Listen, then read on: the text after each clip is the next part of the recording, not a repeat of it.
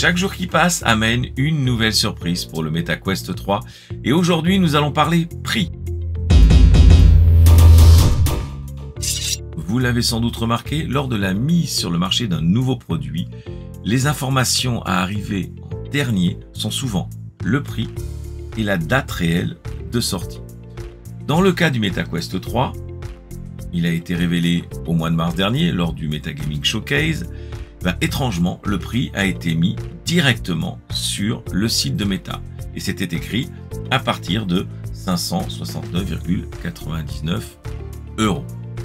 Alors bien sûr, il reste encore une inconnue, c'est-à-dire le second modèle, celui qui sera équipé de 256 ou 512 Go de mémoire, de 8 ou 12 Go de RAM.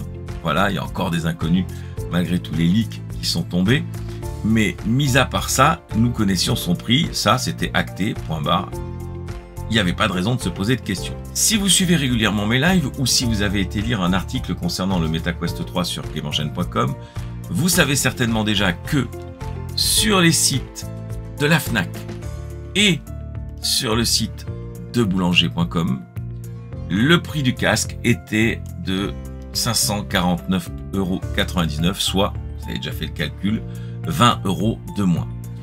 Il était alors possible, et c'est ce que j'ai pensé, que ces enseignes avaient décidé de pratiquer un prix de lancement. Vous savez que en Europe, en France donc, le prix ne peut pas être imposé par le constructeur, mais seulement conseillé, chaque enseigne faisant ce qu'elle veut. Eh bien, contre toute attente, et oui, contre toute attente, sur le site officiel, maintenant, regardez, tadam L'incroyable MetaQuest 3 est maintenant aussi affiché à 549,99 euros, ce qui en fait donc un des premiers produits que je connaisse à baisser avant même sa sortie, et baisser officiellement. Alors pourquoi?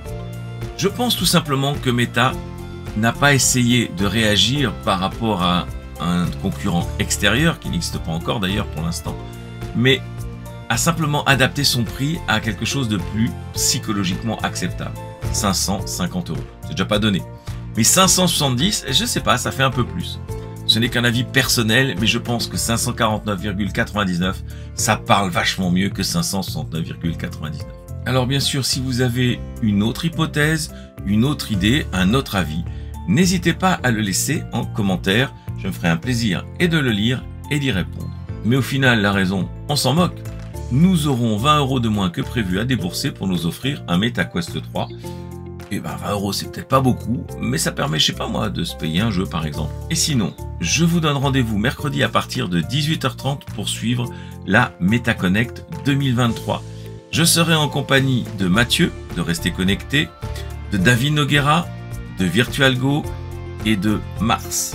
Nous serons tous les cinq là pour réagir, commenter, traduire cette MetaConnect pour vous permettre de mieux la suivre, de mieux la comprendre et surtout de partager ce moment qui certes ne devrait pas nous réserver d'énormes surprises, mais nous le partagerons tous ensemble.